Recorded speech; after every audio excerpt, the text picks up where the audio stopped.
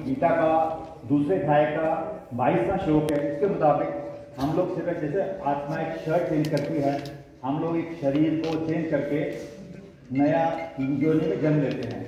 लेकिन जब इसको प्रूव करने की बारी आई तो उसमें लिखा गया था हमें चौरासी लाख योनियों का आगमन करना पड़ता है। इसको एज ए साइंस स्टूडेंट को प्रूव करने के लिए मैंने पद्म पुराण का अठहत्तरवा अध्याय का पांचवा श्लोक में ये पूरा एक श्लोक मेंशन है और पद्म पुराण आज से पाँच हज़ार पहले लिखा गया है। और आज से पाँच हज़ार पहले ना बॉटनी थी, ना जोलॉजी थी, उस वक्त उन्होंने बताया था कि चौरासी लाख की प्रजातियाँ हैं।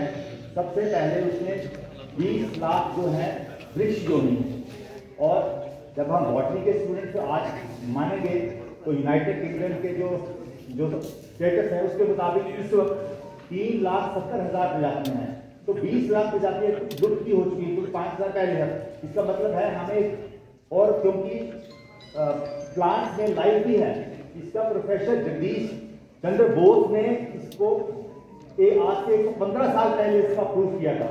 लेकिन पॉलिटिक्स की वजह से उनको नोबेल प्राइज नहीं मिल सका क्योंकि उन्होंने बोला उसमें भी लाइफ है। इसका मतलब हमारी चौरासी लाख योनियों में बीस लाख जो वृक्ष की योनि है उसको एक सार्थक करता है। उसके बाद 9 लाख योनिया हम लोगों की जो ज़मीन के नीचे, यानी कि पानी वाले जलचर हैं, जीव जंतु है, उसमें जाना पड़ता है। उसके बाद 11 लाख हम लोग कीड़े मकोड़े जिसको हम कृमि जाति कहते हैं इंसेक्ट्स जिसको हम कहते हैं, उस योनि में। तो उसके बाद 10 लाख हम लोग पक्षी की योनि में। पक्षी यानी कि जो बर्ड होते हैं। सिमिलरली लास्ट में तीस लाख हम लोगों को पशु योनि में और हमें जो अगर पद्म पुराण के बारे में बताए तो आखिरी योनि में हमारी मान्यता के मुताबिक गो का जन्म लेना पड़ता है, गाय का जन्म लेना पड़ता है, और फिर जाके हम लोगों को चौरासी लाख के बाद मनुष्य का जो कि चार लाख बार हम लोग मनुष्य जन्म लेते हैं। लेकिन हमारे कर्मानुसार फिर हम लोग दोबारा किसी भी योनि में जा सकते हैं। इसका मतलब था कि क्योंकि मैं डॉक्टर हूँ, इस प्रोफेशन में बड़ा अपने आप को गर्व महसूस करता हूँ कि इस प्रोफेशन को हमें मैंने चूज़ किया है। तो मुझे मौका मिला है कुछ सेवा करने की लोगों की।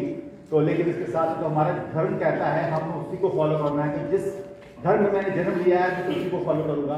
उसके मुताबिक, मेरे मुताबिक हम लोगों को ऐसे कर्म करने चाहिए। हम लोगों को इस चौरासी लाख के चक्कर में नहीं पड़ना चाहिए और हम दोबारा इस जगह में आए। तो मेरा यही आपसे निवेदन है, क्योंकि ये सारा साइंटिफिकली प्रूव है। Thank you very